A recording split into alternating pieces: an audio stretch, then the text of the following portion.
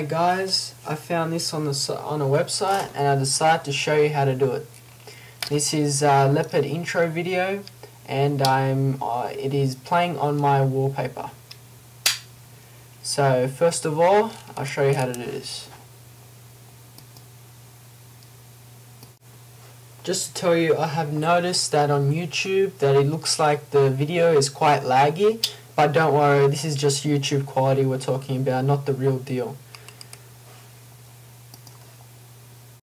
Okay, so to get your leopard intro video in high quality, which you can't really find on the net, you go into your Finder, you go into your Macintosh hard drive, double click on System, Library, and scroll down to core services click on that and scroll down to setup assistant.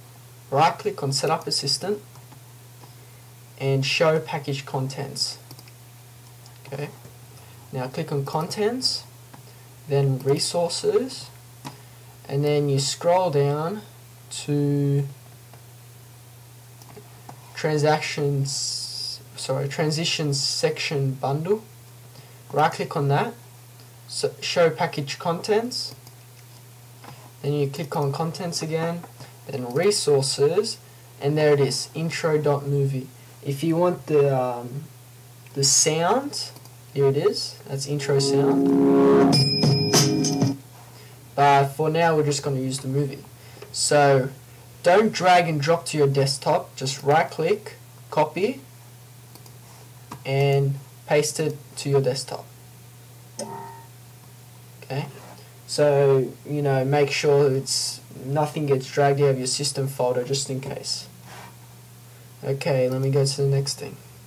Okay, so now what you have to do is have VLC Media Player. To get VLC Media Player, which probably all of you already have, just go to Google, type in VLC for Mac, and it should be the first link and just download that. So once you have VLC, you launch it, you go to File, Open, and yeah, that's practically it. So browse for your intro.movie. Okay, now as you can see here, it is not it is not as a wallpaper. So how we do that is we go to VLC, Preferences, click on interface, main interfaces, click on Mac OS 10 and tick these two tick boxes and press save. Now what you do is you close and just press play and there you go. Um, probably when this uh, movie finishes it will just snap back to your normal wallpaper so to um, fix that issue, just go to help and type in repeat and just click on repeat all, uh, which I already have ticked anyway. So you click on that and it doesn't um, kill your, uh, your video file and you can play it over and over again on your wallpaper. There is just few problems with this. You cannot close VLC. You cannot hide it Otherwise, it will just pop back up again. So you would have to either minimize it or keep it on the thing. The other problem is you cannot select anything in your desktop, so you cannot select the, the icons, but you can access your dock, so that's alright.